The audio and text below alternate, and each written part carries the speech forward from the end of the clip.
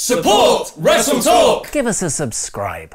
Becky Lynch officially challenges Ronda Rousey at WrestleMania. Seth Rollins doesn't officially challenge Brock Lesnar at WrestleMania. And I guess Elias is a heel now. I'm Oli Davis. Give us a subscribe. Press the thumbs up button. Let us know what you thought of Raw in the comments below because I'll be replying to people from out of nowhere. And click the eye above my head to give your rating where you can choose from Rawsome, Core, Average, Poor, and Rawful. As I review the 28th of January 2019 edition of Monday Night Raw in about four minutes. Seth Rollins opened this week's episode the same way he closed the previous night's Royal Rumble by challenging the WrestleMania 35 sign. Oh, I'm gonna burn you down, you big stupid logo. Spoil Sport Triple H explained Rollins can't face an inanimate large placard at the biggest show of the year, though, and he'll need to choose either WWE Champion Daniel Bryan or Universal Champion Brock Lesnar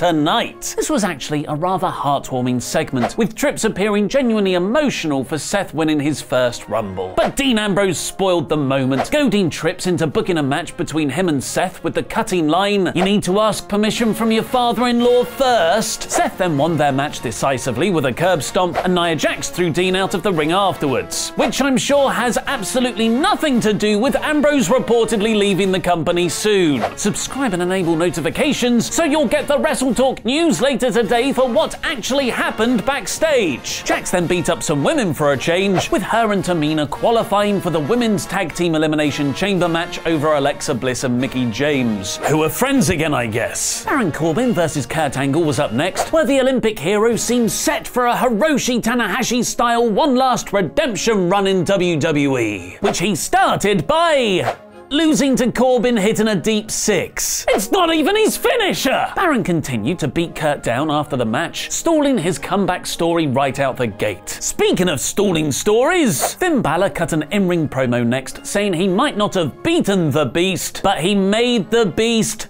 believe, which is quite an optimistic interpretation of Lesnar giving him three German suplexes and an F5 after their match. I'm sure Brock's positively rattled. It seems Balor's main event run was never intended to last after the Rumble, with him being cemented firmly in the mid card here when Bobby Lashley came to beat him up.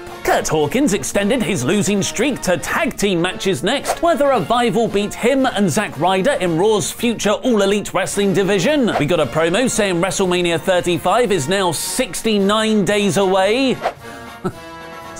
69. So Elias is a heel again! Just three months after randomly turning babyface in October, he started trashing the crowd for not giving him the applause he deserves, even though they totally were. Jeff Jarrett came down, thankfully not dressed like a decorative lampshade this time, joined by a Becky Lynch t-shirt wearing Road Dog, because making her a babyface star was always the story we were telling. To sing their own song to the audience. Elias wasn't a fan though, and smashed guitars over both their backs. Mojo Rawley blamed himself in the mirror for not being effectively showcased on TV next because it's definitely Mirror Mojo's fault, absolutely nobody else's. And even if it was someone else's fault, which it isn't, it'd be Baron Corbin's. The Riot Squad's Liv Morgan and Sarah Logan shockingly beat hastily thrown together Franken team Dana Brooke and Natalya, meaning they qualify for the chamber match. It was almost as one-sided as Ronda Rousey versus the post-Royal Rumble crowd. Get in botch promo segment segue. Ronda struggled through her pre-scripted promo while the audience loudly cheered for Becky Lynch. It got so bad, it seemed Bayley was sent out early to save her. They ended up having a really decent match, with Bayley even locking in the bank statement, but Ronda was always going to win.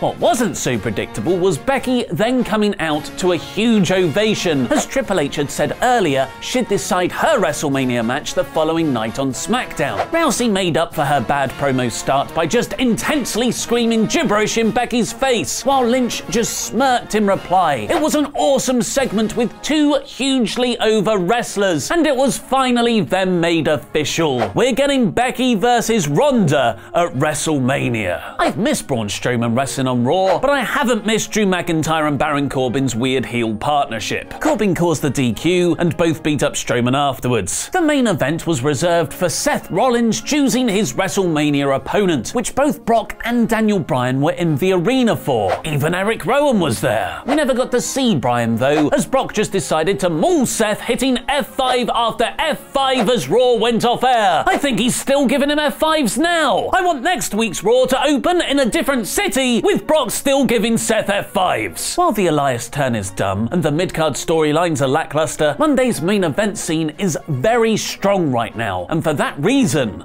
this week's Raw is core.